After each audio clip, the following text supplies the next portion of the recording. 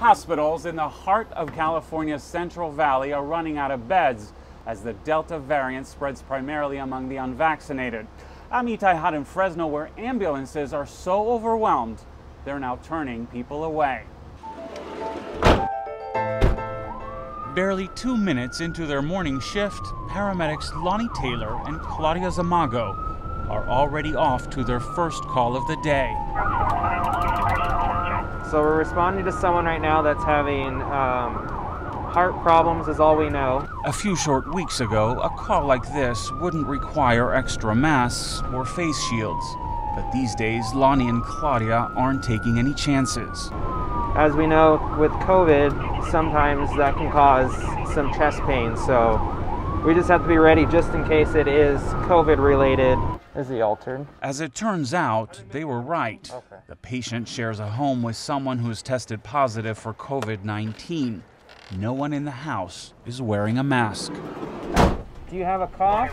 For the last few weeks, Lonnie and his colleagues at American Ambulance, the sole 911 provider for the entire Fresno area, have been working around the clock trying to keep up with one of the worst COVID surges they've seen yet. We're running in a 12 hour shift, upwards of 12 calls. It wasn't always this way. At the beginning of the pandemic, Lonnie was sending his resources to help harder hit areas. Now, his paramedics are forced to turn people away, only transporting the sickest patients You, you'll be okay.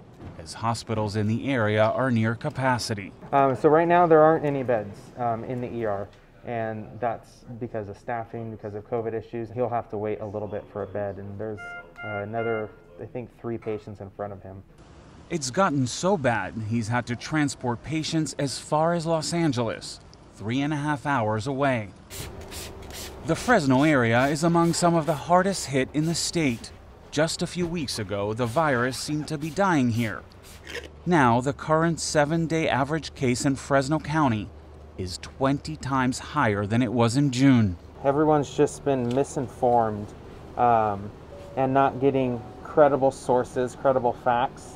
Only 46% of Fresno County's population have gotten their COVID shots, compared to almost 60% in the rest of the state. That means more than half of the patients Lonnie comes in contact with are likely unvaccinated.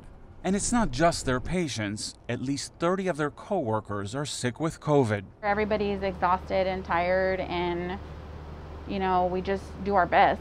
At the end of the day, um, that's all you can really do is your best. What else did you take? Look up at me. Their next call is a 19 year old female under the influence. Huh? But as Lonnie begins his treatment, the patient starts coughing. How long have you been sick?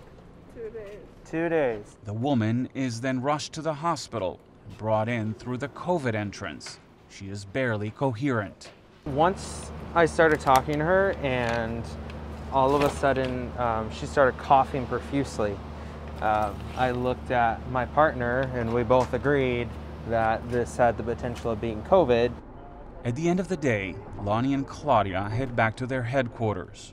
And even though it's been a rough few weeks, Lonnie is hopeful. I am optimistic that things will get better. Uh, it may take a while. Until then, he just hopes that their best is good enough.